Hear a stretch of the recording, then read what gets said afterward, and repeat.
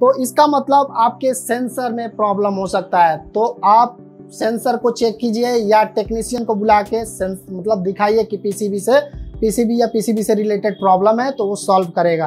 तो ये थी आपको कि एसी प्रॉपर कूलिंग नहीं कर रहा है या कूलिंग एकदम नहीं कर रहा है तो उसके लिए हम कुछ आपके पास ऑप्शन लेके आए।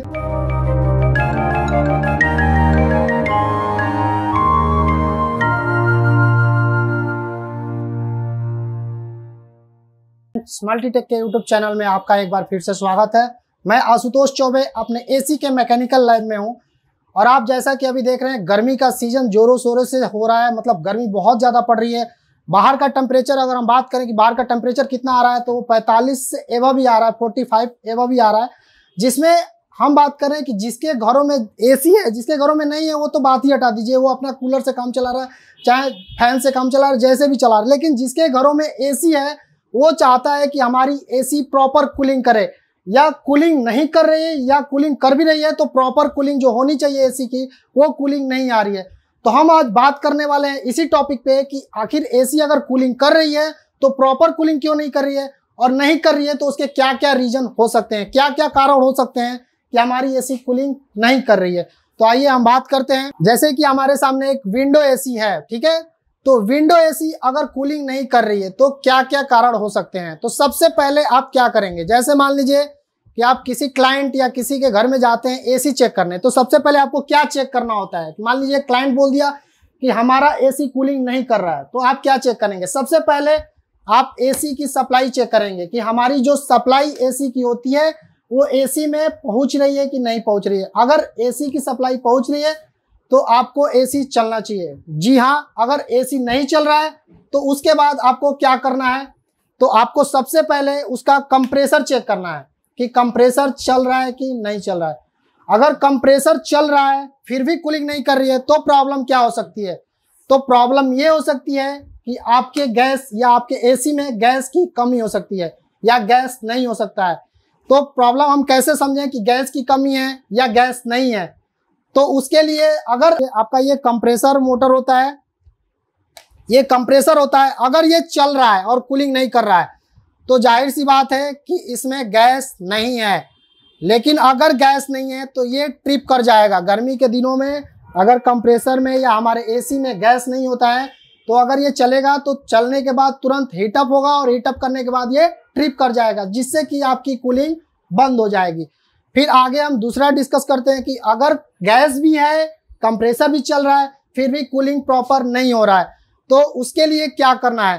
तो देखिए, हमारे पास जैसे कि आप देख पा रहे होंगे, ये हमारा एवापरेटर क्वाइल होता है, ठीक है?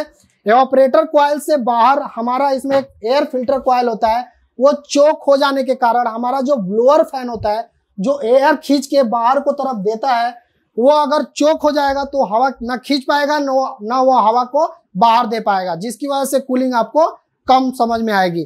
तो ये भी एक रीजन हो सकता है। तो आपके घर में अगर एसी है तो उसको हफ़्ते, दो हफ़्ते में कम से कम एयर फ़िल्टर को साफ़ करिए। तो देखिए, हमारे सामने ये विंडो एसी का जो एयर फ़िल्टर कॉयल होता कैसा है, हम ये आपको दिखाते हैं। देखिए, ये ये अभी बहुत चोक था, बहुत गंदी थी, बहुत इस पर डस्ट लगा था, जिसको हम अभी साफ़ कर चुके हैं। अभी हमने इस एसी को सर्विस किया है। ठीक है? ये बहुत चौक था और देखिए अभी कितना क्लीन है। जैसा कि हम अभी आपको स्प्लिट एसी का एक हमारे पास फ़िल्टर पड़ा हुआ है। आपके सामने देखिए, हम दिखा रहे हैं। देखिए कितना डस्ट से भरा पड़ा है। ये पूरा चौक है।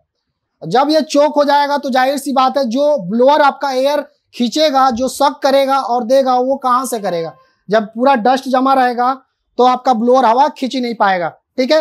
तीसरा रीजन हम पता करते हैं कि जैसे मान लीजिए कि सारी चीज़ें ओके हैं, फिर भी जो हमारी कूलिंग आ रही है, वो भी प्रॉपर नहीं आ रही है। तो उसके बाद हमारा आता है ये जो कंडेंसर कॉयल के बाहर, ये आउटडोर ये तो विंडो एसी है, या आउटडोर का जो फ़ैन होता है, जो कंडेंसर फ़ैन ये देखिए, बाहर लगा हुआ है, जो ये गर्म हवा फेंकता है। अगर कम, ये फ़ैन स्लो चल रहा है, अगर ये फ़ैन स्लो चल रहा है मतलब प्रॉपर गर्मी बाहर नहीं हो पा रही है तो उस वजह से भी हमारी जो एसी की कूलिंग है, वो कम हो जाती है। जी हाँ अगर आपका कंडेंसर कॉयल चोक है या अगर ये फ़ैन हवा बाहर नहीं कर रहा है प्रॉपर तरीके से, या आपको प्रॉपर गर्म हवा नहीं आ पा रही है तो आपकी एसी कूलिंग नहीं करेगी। तो ये भी एक रीजन है। तो आपको उसमें देखना है कि हमारा फ़ैन चल रहा है कि नहीं चल रहा है।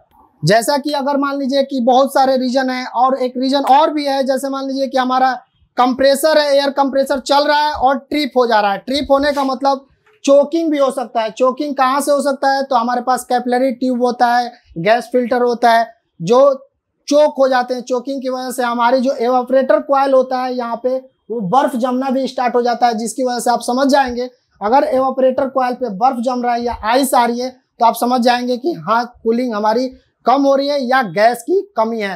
तो आप गैस को प्रॉपर तरीके से या तो टॉपअप कराएँ या लीक फाइंड करा के या चोकिंग है तो चोकिंग को फ्लशिंग करवा के चोकिंग दूर करके फिर आप उसमें गैस रिफिल करा सकते हैं। फिर आपकी जो कूलिंग होगी, वो प्रॉपर आएगी।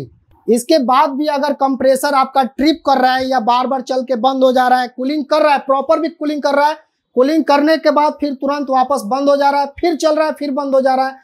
तो इसका मतलब आपके सेंसर में प्रॉब्लम हो सकता है। तो आप सेंसर को चेक कीजिए या टेक्नीशियन को बुला के मतलब दिखाइए कि पीसीबी से पीसीबी या पीसीबी से रिलेटेड प्रॉब्लम है तो वो सॉल्व करेगा। तो ये थी आपको कि एसी प्रॉपर कूलिंग नहीं कर रहा है या कूलिंग एकदम नहीं कर रहा है तो उसके लिए हम कुछ आपके पास ऑप्शन लेके आए तो आप इसके लिए चेक कीजिए या आपको कुछ और भी जानकारी चाहिए, इससे रिलेटेड और वीडियो चाहिए तो हमारे दिए गए नंबर पर संपर्क कर सकते हैं। थैंक यू धन्यवाद।